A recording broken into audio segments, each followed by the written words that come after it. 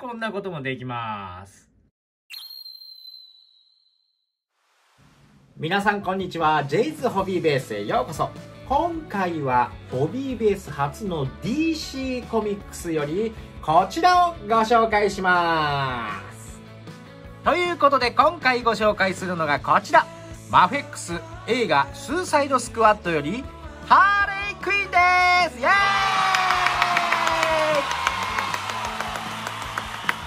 こちらの商品は2017年に初版版が発売されましたが僕は今年かな再販版を手に入れましたのでこちらをご紹介します。僕の動画の中では DC コミックスから出るキャラクターは初めてなんですよね。皆さんの中にも DC コミックスってなんだって方も多いとは思うんですけどもこのハーレークイーンはご存知な方多いんではないでしょうか。もう見た目からわかるようにねセクシーで可愛らしくて悪いっていう悪役なんですよね。とっても魅力的なこのハーレークイーンをマフェックスがどう表現したのか見ていきたいと思います。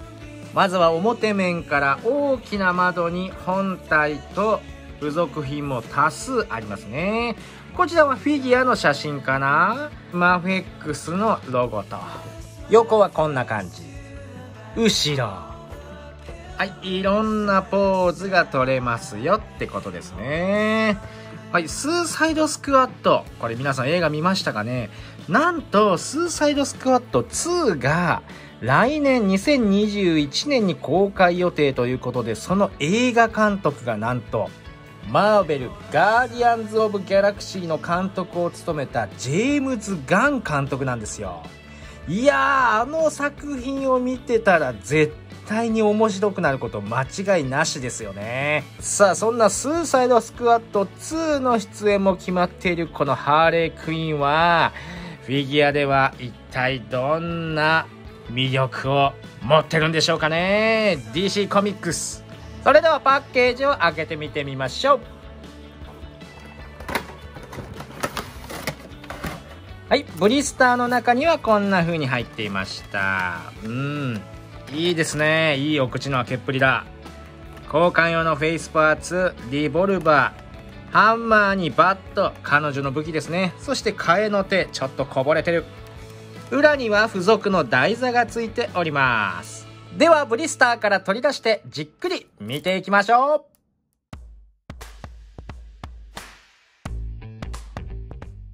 まずは造形を見ていきましょう。全体はこのような感じですね。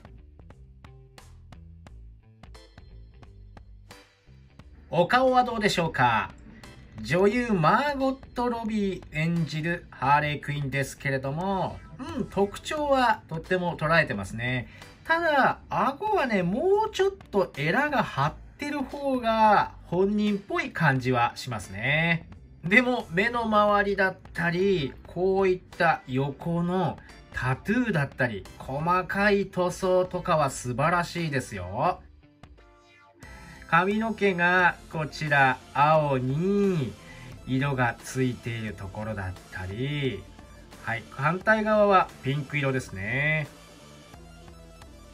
ちなみにこのツインテールは髪の付け根で可動があります。なんでこんなこともできます。体の造形塗装はもう素晴らしいですよ。こちら、シャツのプリントだったり、こういう汚しの塗装。えー首はネックレスっていうのかな？これも細かく作られてますよね。で、上に着ているジャンバーもチャックの部分が塗装されていますこの地の色もとっても綺麗な塗装です。お腹の破れたシャツの造形だったりそしてその中でお そしてこの中のタトゥーまで細かく作り込まれています。背中はこんな感じ。いやー、このね、ジャンパーのよれ感を作りつつ、こういったデザインをしっかりプリントしてくれてるのは、本当に嬉しいですね。そして、後ろも、はい、見てるわよ。腕の後ろ側もちゃんとゴールドで塗装されています。手首のリストバンドかな？これもね、稼働するんですよ。別パーツになってますね。で、グローブも細かく造形塗装がされています。反対の手には指輪をしていますね。マニキュアの塗装もちゃんと入っています。腰回りのベルト、これはね、別パーツなんで稼働します。ゴールドの塗装、細かいですね。造形も素晴らしい。こちらパンツの部分も上と同じでブルーとレッドでキラキラ光ってます。足はいいですね。タトゥーが細かく入っています。タイツを履いているので、このような網目の造形が入ってます。足にはブーツを履いていてこんな感じですね。若干この水色の墨入れが素人っぽい感じがしちゃうところはありますけどね。ここら辺はもうちょっとちゃんと塗ってほしかった気はします。でも足の甲のこういう点々だったり、細かいところも塗装はされているといった感じです。足の裏はこんな感じ。ちなみにパッケージの写真より実物の方がだいぶいいですよ。次は可動を見ていきましょう。頭部は左右によく曲がりますね。前、後ろ。体は溝落ちの下でぐりぐり回ってくれます。腰は左右に少し曲がります。両方合わせると前はここまでかな。後ろ。結構いける。肩は真横に上げると、ここまでいきます。肩はボールジョイントなので、ぐりぐり回りますね。肘は二重関節が嬉しい。ここまでいきます。手首はぐるっと回って、内側、外側、結構いきます。足は上下の引き出し可動があって、出して真横に上げるとここまで。前はここまでかな。後ろは優秀ですね。こんなに後ろに足が上がるフィギュア初めてかも。膝は二重関節で素晴らしい。ここまで上がります。足首は上、下。左右の回転があって、内側、外側動きます。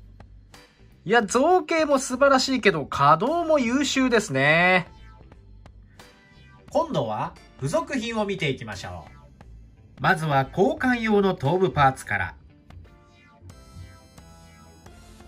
あーうん、こっちの方がバーゴットロビーっぽいですね。